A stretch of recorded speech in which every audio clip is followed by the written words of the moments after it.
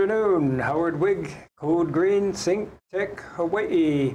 We are going to be talking about productivity in the workplace. And if you're any, if, if you have the same perception that I do and read certain psychological books, you know that the average office person, I'm almost afraid to say this because it might include me, is not very productive.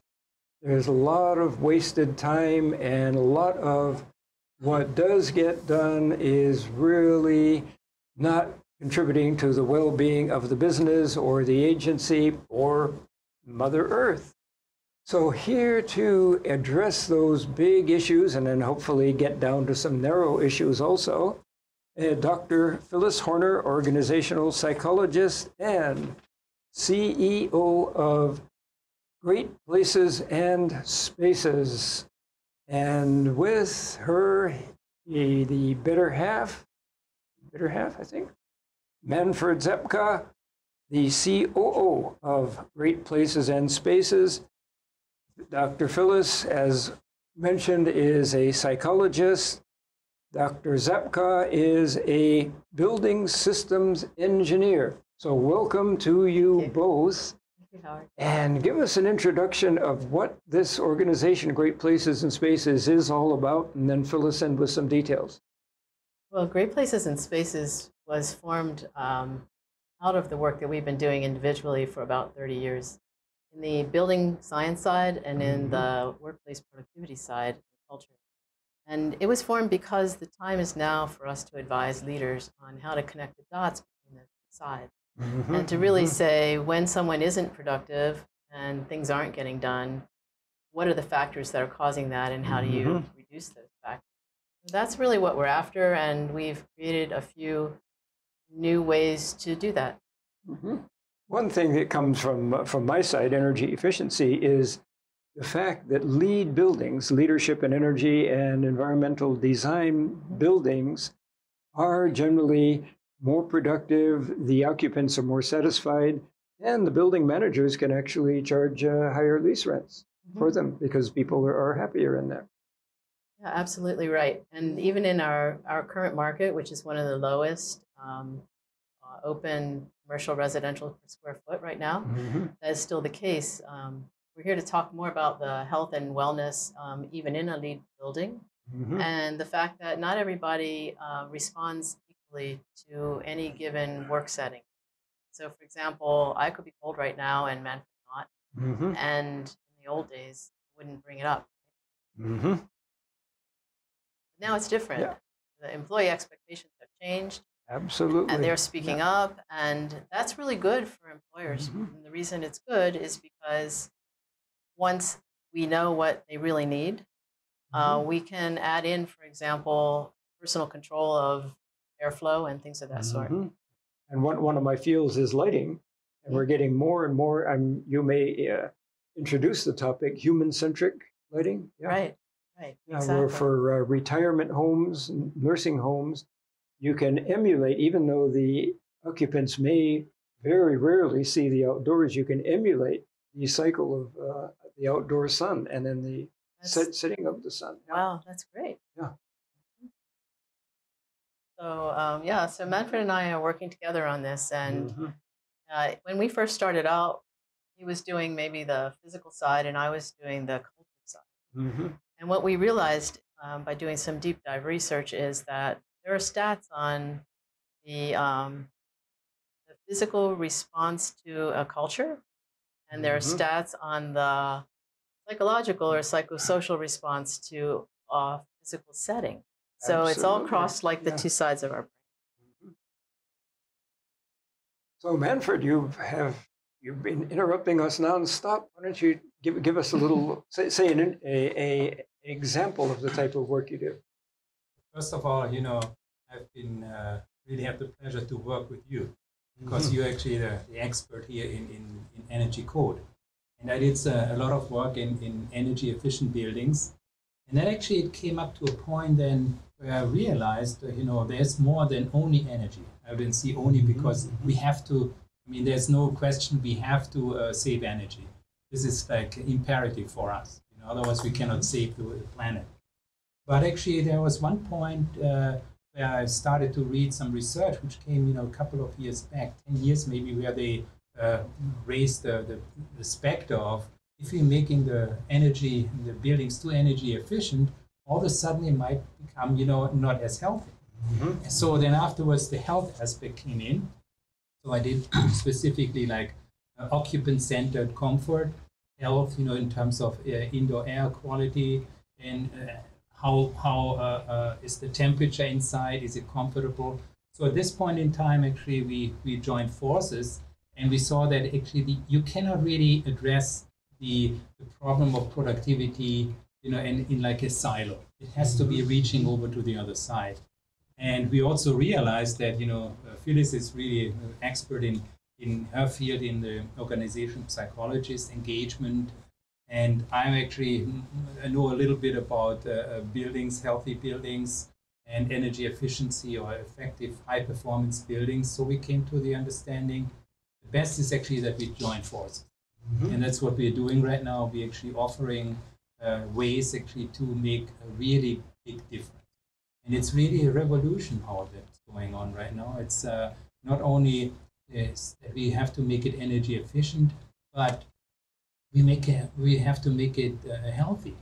Because when, when it comes down to it, like what actually if you have a green building, if uh, you know the people inside is are not healthy and are not satisfied. Mm-hmm. So we think it's red, and what we saw, it's really a new frontier. Really new frontier of green building. It doesn't push it away, builds it up.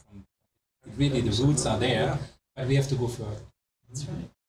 And looking at the total cost of a building, energy is just a little manini thing, and the the manpower, the salaries are the big. That's the 800 pound gorilla there, and the more you can improve the environment, the more productive uh, right. people are. Yeah. Is it one percent and ninety percent, or? It depends on the mainland, yes, but here might be three percent energy, ninety percent of ninety percent personnel. Yeah. And, but actually, you know, you bring up a really fascinating point that you know what sometimes it's lacking in the green building or in the sustainability movement is that we have somehow a problem of putting a value what is the immediate value in terms for, for a company? If we save energy, for instance, we can say, all right, we actually we, we, we save so much on the energy.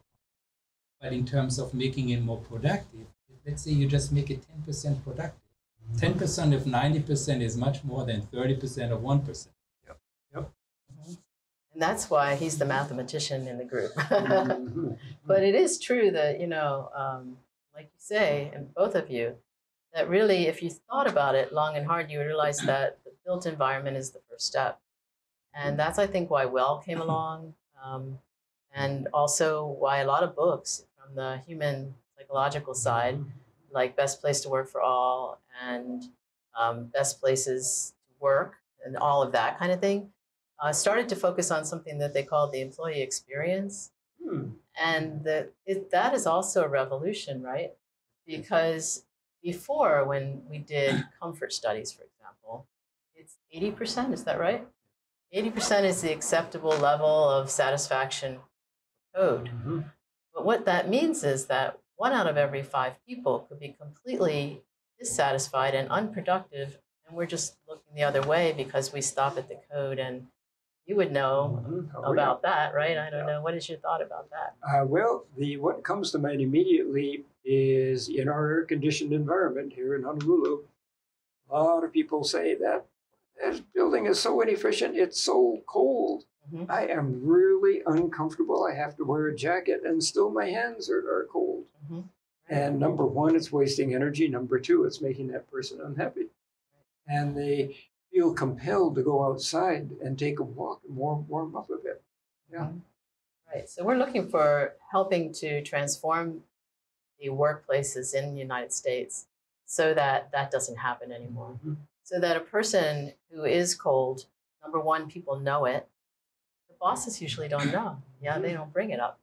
And two, that if in fact they also need a plant nearby, you know, Mhm. that they have access to green space. Right now, there is no measure for the individual work experience that uh, allows that except for the one that we've created. I, I personally have plants all over my, my office. Yeah, it Yeah. really helps, right? Mhm. And we do have some images. Is it time to bring up an image yet, or? Sure. Sure. do Why, why don't we bring up image number one and see what's going on with that? Ah. Ah, yeah. Maybe I should speak to that. Speak to that, I'm the physical, you know, uh, the physical person. So uh, what do you actually have in a in a, uh space, a space there are two aspects. One which usually we say, you know, it's a nice space that actually it feels good. This is the psycho psychosocial response to occupants. That it you come into a place, you know, the, the proportions are nice, it feels good, it has a, a sense of, of, of belonging, of, of, of place. So that actually is something which the architects excel. And it is important, but it's not all. On the right side, on, on the on the right side, you see actually is the physiological response of documents, and there you see a lot of icons there, which stand for like uh, air quality, for uh, ventilation, for lights. What you know, uh, Howard was already saying for temperature, for sound, and uh, ventilation inside. It, it says, you know, it, it, it indicates do we actually have a, do we have sight of something outside of green something. So these actually, uh, these all these uh, conditions do actually have a have a, a, a direct effect on, on productivity on how people can perform. For instance, like if it's the the more the one of the biggest uh, uh, deficiency is noise. If the noise is too too loud, actually people can actually lose in their productivity by fifty percent. Fifty percent and uh, ventilation, for instance. And there was a study by the Harvard, uh, you know, healthy building program where they said, it, on average, it takes six thousand five hundred dollars you can increase per person per year if the ventilation rate is actually increased by twice as much as required by code. It might take some more energy, but right now, you know, on the other side, you can actually, you know, increase a lot of uh, a lot of revenues. Would that be the increased ventilation? Would that result in a greater uptake of oxygen in the human system? Yes, you know, there's carbon dioxide. You know, if, if uh, OSHA, for instance, says 1,000 ppm is acceptable, but right now studies have actually shown that already when it goes over 700, you know, your, co- your cognitive functions goes down. And we did some studies at the university where we measured uh, carbon dioxide levels in, in school in, in, in, in school classes, which was 1,400. I wouldn't So- doubt it because because think in a, in a classroom you've got say six and seven year olds they are restless as heck they're moving and squirming all over the place and they're breathing rapidly their metabolism is high and so they're exuding all of this carbon dioxide how do you world do you get it all out of there Yeah, definitely. Yeah. And again, like if you don't uh, get rid of the carbon dioxide, it accumulates. Yeah. Other things is also in indoor pollutants, like VOCs, what is called. You know, all kinds of material that we have inside, or inside germs. You know, if they are not expelled outside, they make people sick. So ventilation is a huge component. yeah I think you talk to a hospital manager he will know something about ventilation get those germs out of there Yeah. yeah. So the return of That's a great investment, even even by that, is just. Uh, But then you run into the, it's a contraindication of if you're increasing your energy use because those fans are spinning faster. That's exactly, and Yeah. you know, just to coming back, you know, the we always try to, for energy purposes, to tighten up the envelope. But mm-hmm. if we tighten up the envelope, we don't have so much infiltration. Mm-hmm. We have to get mechanical ventilation, which costs uh, mm-hmm. energy, but also right now it's not sufficient. So by really, cre- uh, you know, increasing the ventilation rate, we get an energy penalty. But you know, as you know, there are technology which we can avoid that. And I think that's really important that we not only make it healthy, but we also make it energy efficient. We need to take a break, but as soon as we get back, let's talk about the most scintillating topic under the sun, namely control. That- that- I know that warms the cockles of your heart and as it does mine. So we will take a break one minute, be back with Dr. Phyllis Horner and Dr. Manfred Zapka. One minute, Code Green, Hawaii. Hi, guys. I'm your host, Lillian Cumic from Lillian's Vegan World. Um, I come to you live every second Friday from 3 p.m. And this is the show where I talk about the plant based lifestyle and veganism. So we go through recipes, some upcoming events, uh, information about health regarding your health, and uh, just some ideas on how you can have a better lifestyle, eat healthier, and have fun at the same time. So do join me. I look forward to seeing you and uh, aloha. Hey, aloha everyone, and welcome to the Think Tech Hawaii studio. My name is Andrew Lanning. I'm the host of Security Matters Hawaii. We air here every Tuesday at 10 a.m. Hawaii time, trying to bring you issues about security that you may not know, issues that can protect your family, protect yourself, protect our community, protect our, our companies, the folks we work with. Uh, please join us and uh, hope you can um, maybe get a little different perspective on how to live a little safer. Aloha.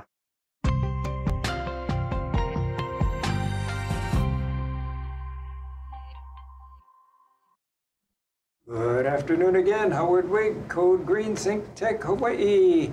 Dr. Phyllis Horner and Dr. Manfred Zapka.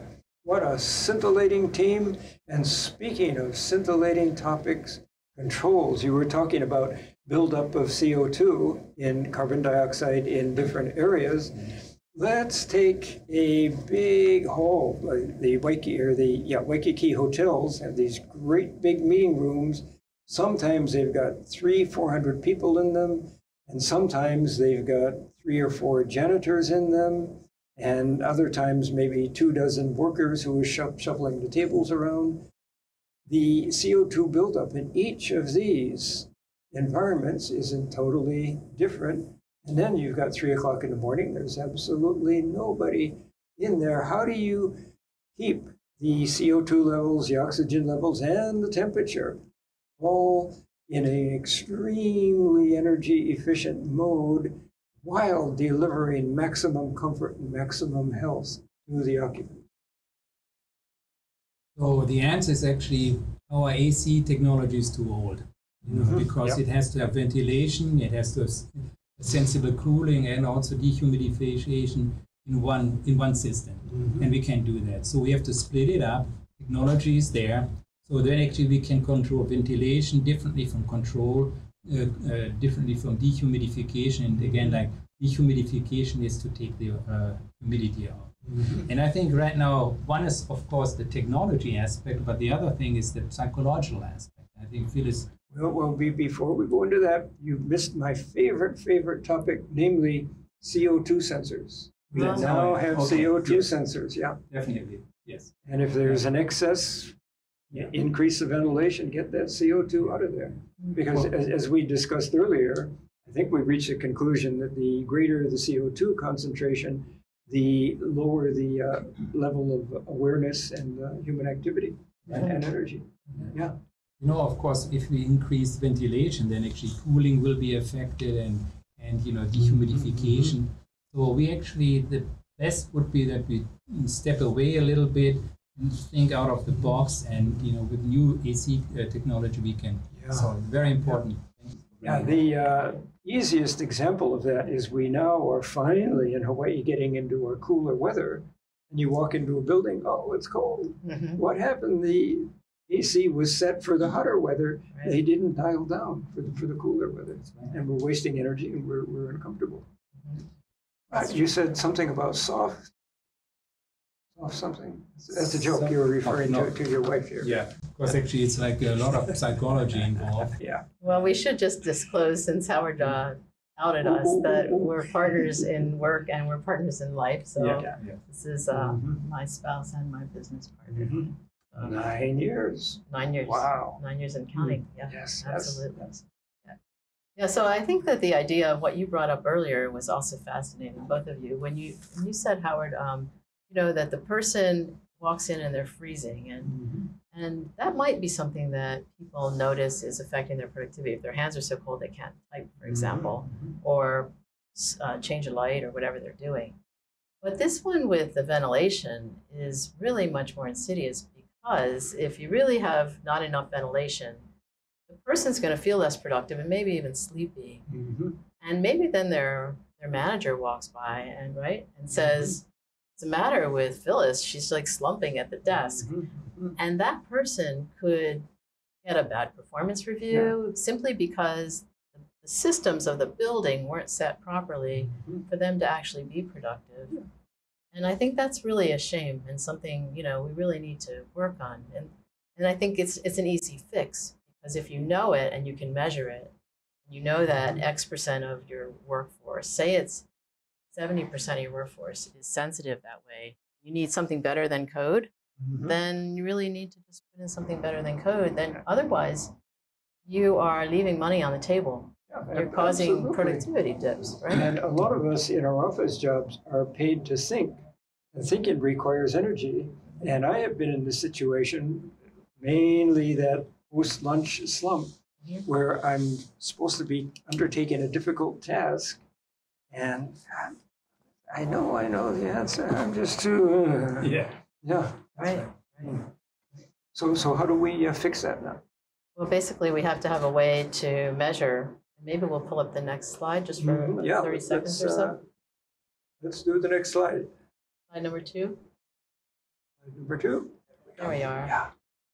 So, I mean, this is basically something that many people have seen a version of. It's kind of like a modified Maslow's I, chart. yeah, it looks you- familiar. yeah. Right. And so you can yeah. see that uh, the foundation is physical and psychological safety, which Mhm. means that they feel like they're not marginalized, that they're not going to um, have too much uh, darkness and trip. Um, there's not anything that's volatile that's going to harm them, chemicals or otherwise.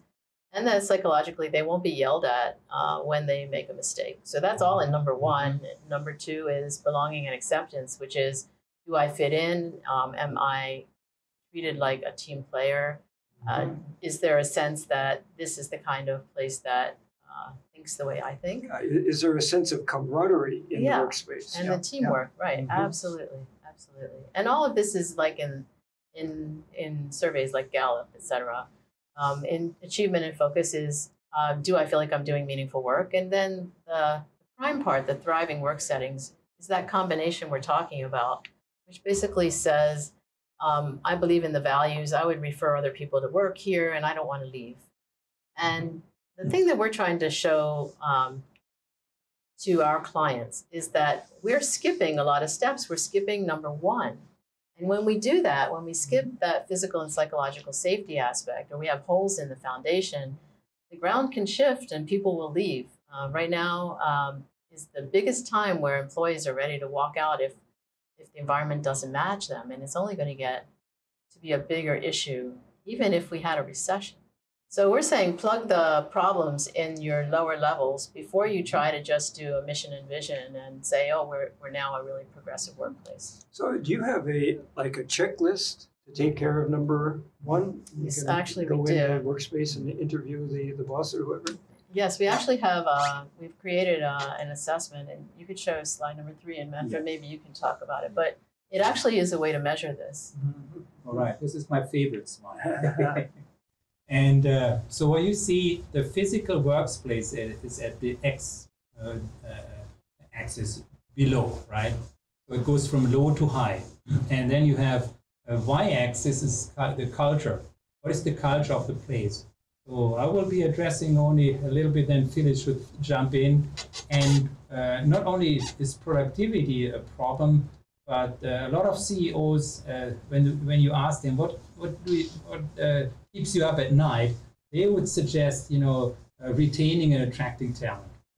This is actually the biggest thing. So if if we actually uh, provide a workplace which is not conducive and attractive, people will just not come. You know, business might have to leave regions because they cannot attract uh, you know uh, uh, talent and so on. So let me see like number one. Number one, you see this quadrant, let's get out of here. You know, you have a physical work score, workspace score, which is uh, low, and you also have a, a deficient culture. So you don't want to be in there. And, and, you know, that's not surprise that actually people are just running away from that. And when you go to quadrant two, you have the gilded cage.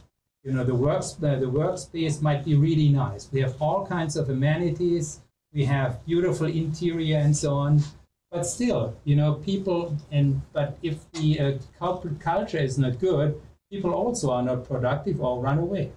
We feel the Or they call that golden handcuffs in the old days. And Mhm. actually, also, Google had some of this because they had a beautiful workspace and they ended up thinking that they were treating everyone fairly and that people were happy. But then they had a big walkout of women and men that supported them because of an unfair work culture. And so it caught up to them. And I guess that's our main message is, is it could catch up to anybody. What you really need to do is, is to ask each person what is the ideal work setting that makes you productive, roll all that data up, and then say, okay, so of all the things that are important to our people that are going to make them want to stay, because it's not only what's important to you, but how does it compare to what you have now? What are the biggest priorities that would give us ROI without going blowing the budget? And mm-hmm. it's our contention that the amount of money they're wasting on lack of productivity right now Mhm. would be more than made up for by the small investments in some of these changes. Maybe can we bring it back, uh, slide number three? Also, thank you, and see the quadrant three. Yeah, well, quadrant three is a is a place where you love your work so much that you look the other way on the way that it's laid out. You try not to let it affect you. Um, so we call it rose-colored glasses. And then uh, quadrant four is uh, what we are helping business leaders to do is to maximize and optimize both the physical and the psychosocial response to the workplace. We've One last, oh, sorry, go oh, ahead. We've only got a little time, but Yeah. one example of improving the interior environment, we talked about it earlier, is plants. That's I personally just love having plants around. Plants are the easiest. Speaking of which, what do they absorb? Absorb? They absorb CO2. CO2, yeah. Exactly. That's So- actually what we have come up with a mm-hmm. with a what we call an ROI. That actually, mm-hmm. you don't necessarily have to make everything optimal. So, what is the biggest or the smartest investment? For instance, you see like the the, the plants. Plants are absolutely you know a perfect example. They're very relatively cost effective.